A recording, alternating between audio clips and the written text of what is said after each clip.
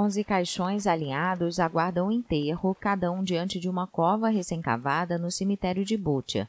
São pessoas desconhecidas, mortas em março durante a ocupação russa desta cidade ucraniana perto de Kiev. Quase todos, nove homens e duas mulheres, foram enterrados pelos moradores da cidade em valas comuns, quando a intensidade dos combates não deixou tempo para mais.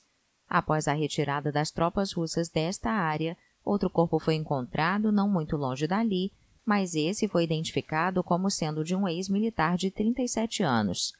Mais de quatro meses se passaram desde que uma equipe de jornalistas da AFP encontrou os corpos de 20 civis mortos em Bucha em 2 de abril, no que foi o primeiro indício de crimes de guerra na Ucrânia. Somente agora as autoridades locais começaram a enterrar os corpos não identificados.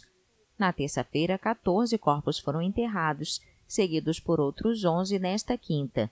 De acordo com a prefeitura, outras três cerimônias estão previstas. Cerca de 50 pessoas, entre os 458 civis mortos durante a ocupação russa da cidade, ainda não foram identificadas.